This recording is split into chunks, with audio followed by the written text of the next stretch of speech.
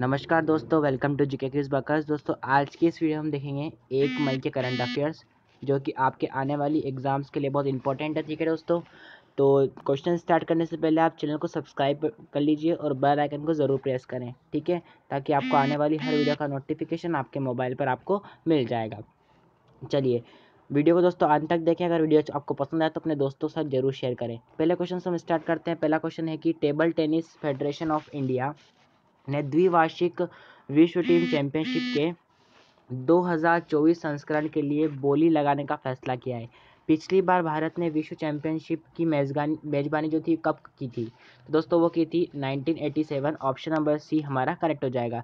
Table tennis federation of India TTFI ने द्विवार्षिक विश्व टीम चैंपियनशिप के 2024 संस्करण के लिए बोली लगाने का फैसला किया है। आखिरी बार भारत ने विश्व चैंपियनशिप की मेजबानी 1987 में की थी। भारत में आखिरी बड़े आईटीटीएफ इवेंट का आयोजन 2012 में हुआ था, जब हैदराबाद ने विश्व जूनियर चैंपियनशिप की मेजबानी की थी। ठीक है दोस्तों, चलिए नेक्स्ट क्वेश्चन है कि अप्रैल 2019 में उज्बेकिस्तान के ताशकंद में Asian road para cycling championship में रजत पदक किसने जीता है? तो दोस्तों वो जीता है दोस्तों दिविज शाह ने। ठीक है? ये आप याद रखिएगा भारतीय पैरो एथलेटिकों ने उज्बेकिस्तान के ताशकंद में Asian road para cycling championship में एक रजत पदक और दो कांस्य पदक हासिल किए हैं। ठीक है? ये आप याद रखिएगा। और दिविज शाह ने रजत पदक जीता है जबकि हमारे एशियन पैरा गेम्स के कांस्य पदक विजेता गुरुलाल सिंह और हेड साइकिलिस्ट सुधाकर मराठे हैं। ठीक है? ये दोनों हैं। ये हमारे कांस्य पदक विजेता है। चलिए नेक्स्ट क्वेश्चन है। Bombay stock exchange institute limited के सहयोग से गुड्स एंड सर्विस टैक्स, यानी कि जीएसटी पर एक जागरूकता कार्यक्रम शुरू करेगा। तो कौन करेगा? इंदिरा गांधी राष्ट्रीय मुक्त विश्वविद्यालय के सहयोग से गुड्स एंड सर्विस टैक्स पर एक जागरूकता कार्यक्रम शुरू करेगा। ऑप्शन नंबर बी हमारा करेक्ट हो जाएगा। ठीक है? कार्यक्रम का शुभारंभ दोस्तों जुलाई 2019 के सत्र से किया जाएगा। इसका उद्देश्य जीएसटी अधिनियम के तहत विभिन्न आवश्यकताओं को पूरा करने के लिए आवश्यक बुनियादी ज्ञान और कौशल प्रदान करना है। ठीक है? नेक्स्ट क्वेश्चन है कि चार भारतीय शैक्षणिक योग्यता को अब एक मई 2019 से प्रभावी सरकार द्वारा मान्यता दी जाएगी। तो वो दोस्तों फ्रेंच फ्रेंच सरकार द्वारा मान्यता दी जाएगी। चार भारतीय शैक्षणिक योग्यताओं को अब एक मई से फ्रांस सरकार द्वारा मान्यता दी जाएगी। ये सरकार द्वारा अनुमोदित संस्थानों से उच्चतर माध्यमिक विद्यालय, एसएससी, स्नातक स्नातक और मास्टर डिग्री और पीएचडी हैं। इसी प्रकार इन योग्यताओं के फ्रांसीसी समकक्षों को भारत सरकार द्वारा मान्यता दी जाएगी। ठीक है? यह आप याद रखिएगा। नेक्स्ट क्वेश्चन है कि किसने अप्रैल 2019 में अपने प्लेटफॉर्म पर लाइव स्ट्रीमिंग वीडियो पर, वीडियो के लिए Univision the Wall Street Journal N F L E S P N और वॉयकम के साथ प्रीमियम सामग्री सौदे पर घोषणा की है। दोस्तों, वो है ट्विटर ऑप्शन नंबर बी हमारा करेक्ट हो जाएगा। ठीक है? डिल्स नए लाइव और online demand premium video programming का प्रदर्शन करेगी, जिससे विज्ञापनदाताओं और प्रभावशालियों को और दर्शकों से जुड़ने के लिए नए अवसर मिलेंगे। ठीक है? यह आप याद रखिएगा। नेक्स्ट क्वेश्चन है स्टटगार्ड के पॉर्श ग्रांड पिक्स का खिताब किसने जीता? तो दोस्तों, वो जीता पेट्रा क्वितोवा ने। ऑप्शन नंबर बी हमारा करेक्ट हो जाएगा। विश्व के तीसरे नंबर की टेनिस खिलाड़ी पेत्रा क्वितो पेत्रा क्वितोवा चेक गणराज्य ने एमेट कोटविट एस्टोनिया को हराकर स्टुटगार्ट के पोस्ट ग्राफी में वर्ष का दूसरा खिताब जीता। क्यों दो बार की विमल्टन चैंपियनशिप है, चैंपियन यानी कि विमल्टन चैंपियन दो बार की, और चैंपियनशिप जर्मनी के स्टूगार्ट में आयोजित की गई थी। ये भी आप याद रखिएगा। नेक्स्ट क्वेश्चन है कि अप्रैल 2019 में सिल्वर डिवीज़न में ऑर्डर ऑफ़ इखा मांगा से किसे सम्मानित किया गया है? दोस्तों, वो है जैक्स कैलिस को सम्मानित किया गया ऑप्शन नंबर बी हमारा करेक्ट हो जाएगा। यह राष्ट्रीय सम्मान दक्षिण अफ्रीका के राष्ट्रपति द्वारा उन नागरिकों को दिया जाता है, जिन्होंने कला, साहित्य, संगीत, पत्रकारिता, संस्कृति और खेल में महत्वपूर्ण योगदान दिया है। उन्हें उनके सफल क्रिकेट करियर के लिए पुरस्कृत किया जाता है और इन्होंने, उन्होंने 166 test, T twenty eight one day, पच्चीस टी ट्वेंटी खेले हैं, जिसमें बासठ शतक बनाए और फाइव सेवन सेवन इन्होंने विकेट लिए ठीक है आप याद रखिएगा। नेक्स्ट क्वेश्चन है हमारे पास।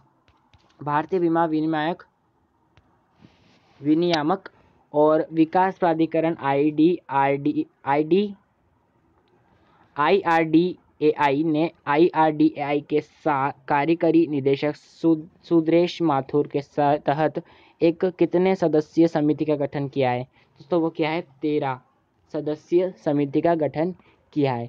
ठीक है?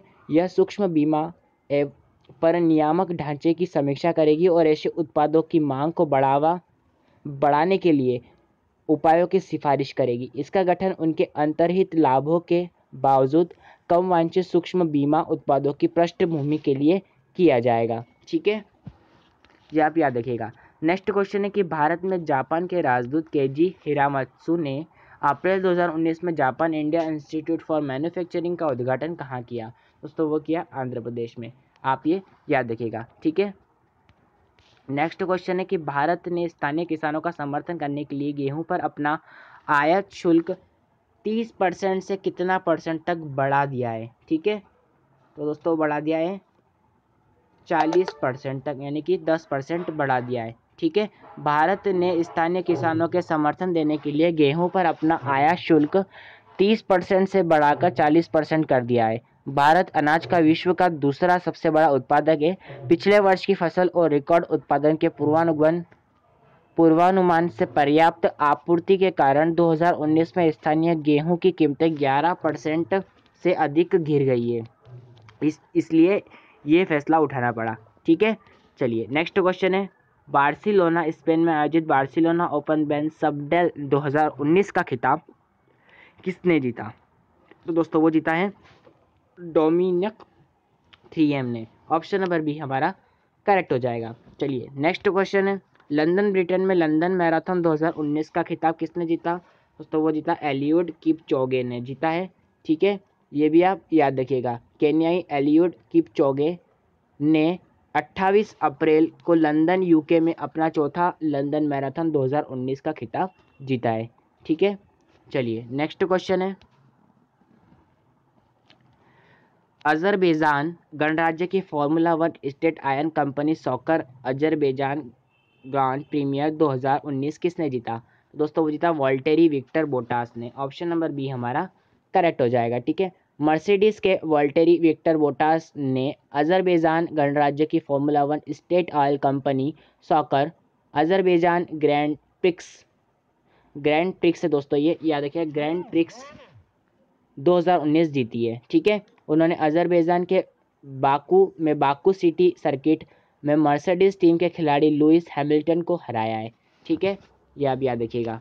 नेक्स्ट क्वेश्चन है कि अप्रैल 2019 में न्यूजीलैंड ओपन बैडमिंटन टूर्नामेंट कहाँ शुरू हुआ है? दोस्तों, वो शुरू हुआ है ऑकलैंड में। ठीक है? New Zealand open badminton tournament 30 April 2019 को ऑकलैंड में शुरू हुआ है। भारतीय शटलर साइना नेहवाल का लक्ष्य इस साल अपना दूसरा खिताब जीतना होगा। पुरुष वर्ग में Parupalli Kashyap, B. Sai Praneeth, H. S. Prannoy, Shubhankar Dey और लक्ष्य सेन इसमें हिस्सा लेंगे। चलिए नेक्स्ट क्वेश्चन है कि भारतीय रक्षा विश्वविद्यालय निदेशालय में अप्रैल 2019 में परिदृश्य निर्माण और प्रतिक्रिया पर दो दिवसीय साइबर अभ्यास कहाँ आयोजित किया गया? दोस्तों, वो आयोजित किया गया नई दिल्ली में, ठीक है? आपके पास ऑप्शन नंबर ए हमारा करेक्ट हो जाएगा। चलिए नेक्स्ट क्वेश्चन है कि football writers association F W A द्वारा वर्ष 2019 का फुटबॉलर ऑफ़ द ईयर किसे नामित किया गया है? तो दोस्तों, वो है रहीम स्टर्लिंग, ठीक है? ये आप याद रखिएगा। और मैनचेस्टर सिटी और इंग्लैंड के फॉरवर्ड ने विजेता के रूप में 400 400 फुटबॉल राइटर्स एसोसिएशन के मतदान में बासठ प्रतिशत, यानी कि 62 प्रतिशत सिक्सटी टू परसेंट मतों के साथ शीर्ष स्थान हासिल किया। वह लिवरपूल के डिफेल्डर विर्गन वॉन डेजेक्ट से 100 वोट से आगे थे। ठीक है? ये भी आप याद रखिएगा। चलिए। धन्यवाद दोस्तों, आज के लिए वीडियो के लिए इतना ही। काफ़ी हम कल फिर मिलेंगे आपके साथ नए करंट अफेयर्स की वीडियो के साथ में। तब तक के लिए आप चैनल को सब्सक्राइब कर लीजिए, बेल आइकन को ज़रूर प्रेस करें। अगर आपको वीडियो पसंद आए तो अपने दोस्तों के साथ ज़रूर शेयर करें। ठीक है? धन्यवाद। एग्ज़ाम्स के लिए आपको ऑल द बेस्ट।